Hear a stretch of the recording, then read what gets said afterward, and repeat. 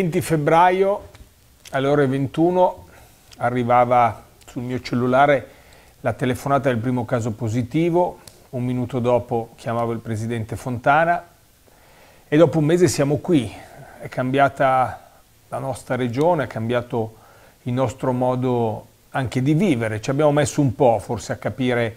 eh, con chi avevamo a che fare, noi cittadini,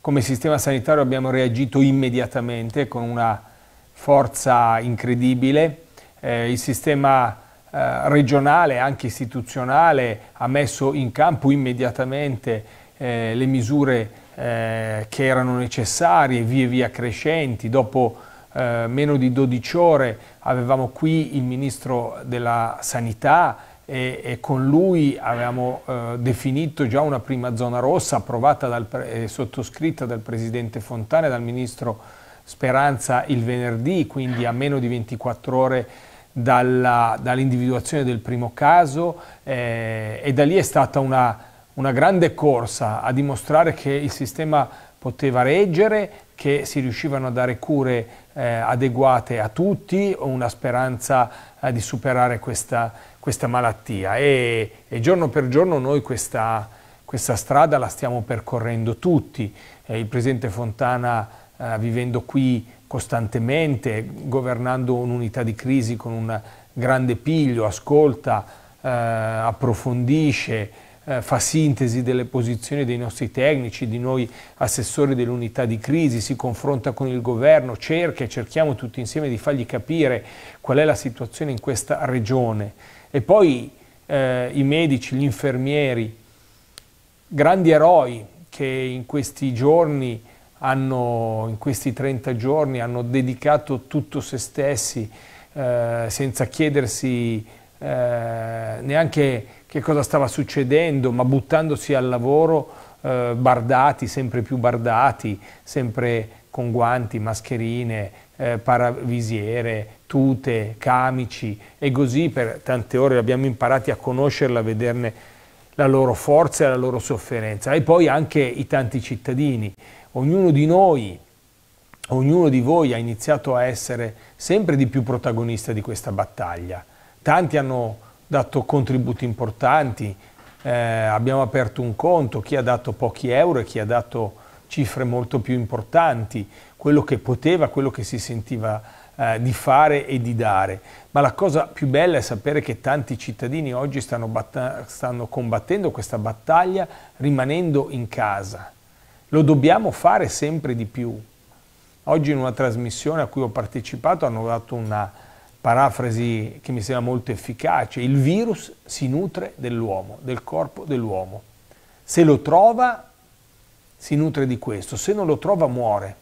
E quindi il concetto che noi dobbiamo fare di tutto per evitare di contagiare o di essere contagiati, mantenere il distanziamento sociale. Eh, chi, chi, ha soltanto un raffreddore eh, eh, e anche magari non ha ancora linea qualche linea di febbre, deve isolarsi anche all'interno del proprio domicilio, dormire diviso eh, da, da, da, dagli altri, provare a mangiare distanziato, evitare che lui che magari potenzialmente ha il coronavirus e magari lo, eh, dire, lo, lo, lo svilupperà e lo gestirà in una, ferma, in una, forma magari estremamente lieve, perché moltissimi sono le persone che eh, fortunatamente lo superano con grande facilità, ma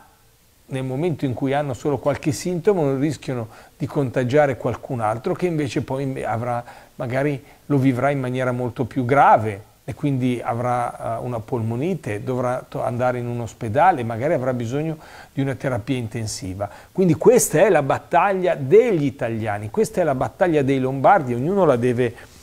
combattere sapendo che è il protagonista e che la vinciamo se ognuno di noi la vive, la combatte con grande determinazione. I numeri di oggi. I numeri di oggi sono numeri che anche oggi con, confermano che c'è una crescita, che c'è una crescita costante, ma che è costantemente una crescita. 22.264 sono i positivi, più 2.380 rispetto a ieri, ieri era 2.171, quindi siamo sullo stesso ordine di grandezza, ma continuiamo a crescere. Le persone ricoverate, siamo arrivati a 7.735 con una crescita di 348, ieri era molto più bassa, ma avevamo detto era quasi anomalo questo essere così bassa, perché la media di crescita è sempre stata intorno alle 300 giorno dopo giorno. Sui posti persone in terapia intensiva siamo arrivati a 1050 con una crescita di 44 persone in terapia intensiva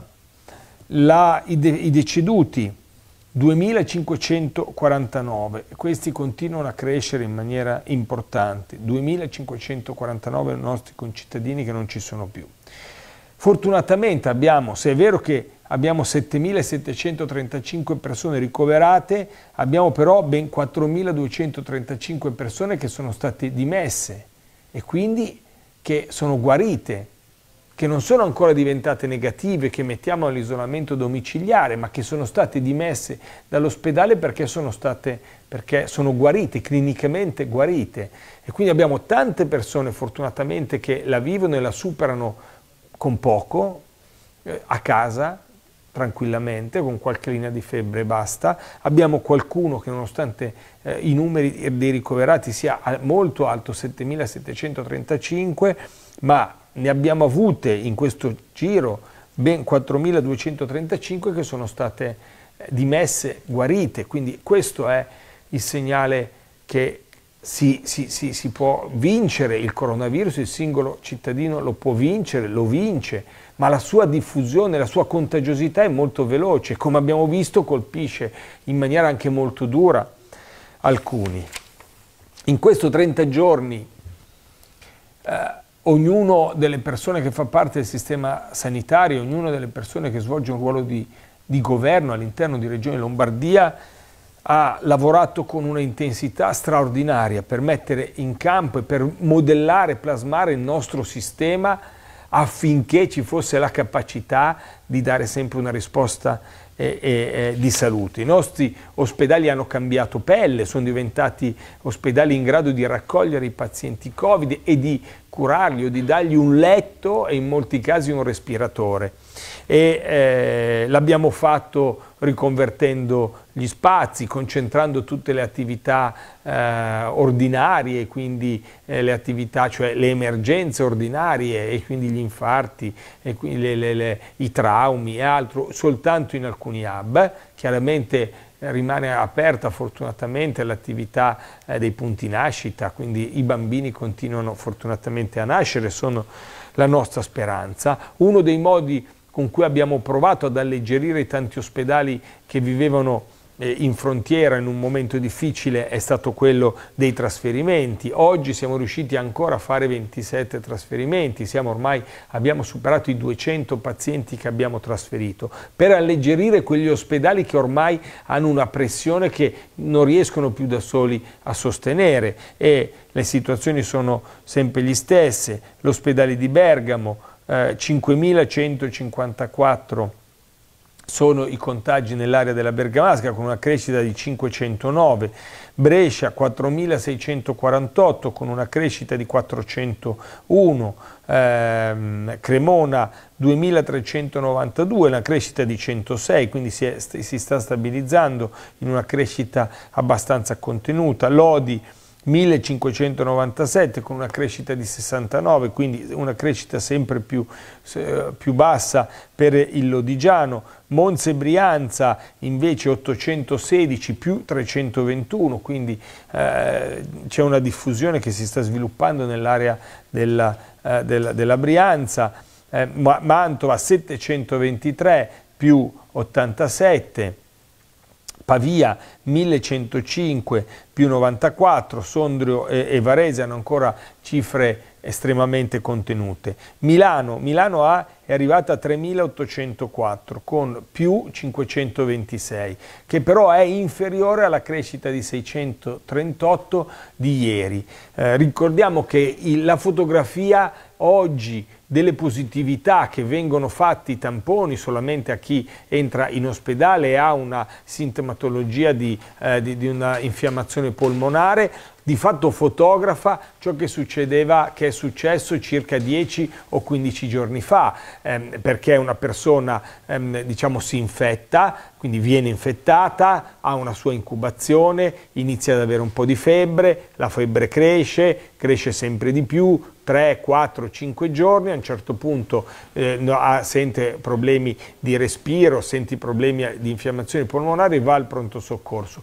Quindi affinché tutto questo percorso si realizzi, di solito passano tra i 10 e i 15 giorni, quindi la fotografia dell'incremento che noi notiamo oggi è ciò che è avvenuto tendenzialmente tra i 10 e i 12 giorni fa. Guarda caso ci torniamo a quel weekend, quell'8 marzo, quel 9 marzo, quel sabato e quella domenica in cui tutti erano per strada, in cui non c'era alcuna consapevolezza, in cui io eh, eh, eh giravo venendo in ufficio, sono rimasto allibito nel trovare i nostri parchi con migliaia e migliaia di persone e in giro per le strade per centinaia di persone come se nulla fosse, in una bellissima e mite eh, eh, giornata di primavera. No? Da lì il sabato notte il provvedimento del governo, al, le fughe al sud da un lato e dall'altro eh, la domenica in cui c'era una, una, una, consapevolezza ma ancora tiepida. Da lunedì è cambiato poi tutto, la, la, la comunicazione, la crescita di una responsabilità civile da parte di tutti i cittadini, quindi i dati che noi vediamo e anche l'incremento di Milano, noi confidiamo che sia figlio di quel folle weekend. E, eh, il dato di Milano città è 1550 e che magari già da, da, da, sabato, da domenica, da lunedì, invece su, anche su Milano si possa notare un rallentamento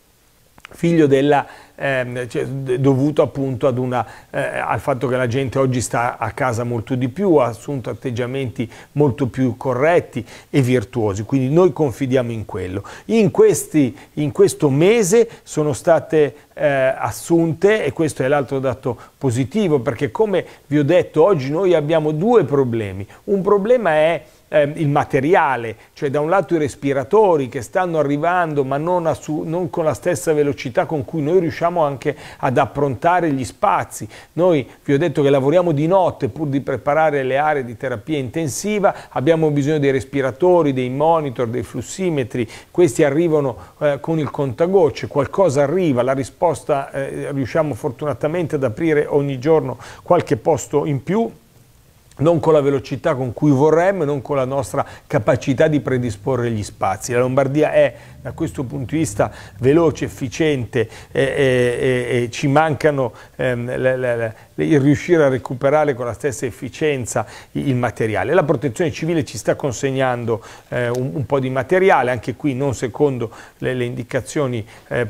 dire il, il programma preciso, anche loro hanno difficoltà a recuperarlo, anche loro hanno ordini che devono arrivare in qualche giorno e non arrivano, quindi stiamo tutti combattendo la stessa battaglia. L'altro è il personale. Fortunatamente negli ultimi decreti vi è stata la possibilità di assumerlo in maniera molto veloce, molto flessibile. A oggi sono arrivate 3.400 domande Abbiamo costruito anche un sistema, una piattaforma informatica per eh, processarle e ne siamo riusciti a valutare 2590, quindi ormai siamo velocissimi perché lo fa il computer. Abbiamo, abbiamo provveduto ad inviare ad, ad aziende ehm, eh, la, la disponibilità, per esempio per quanto riguarda i medici laureati, di 140 medici.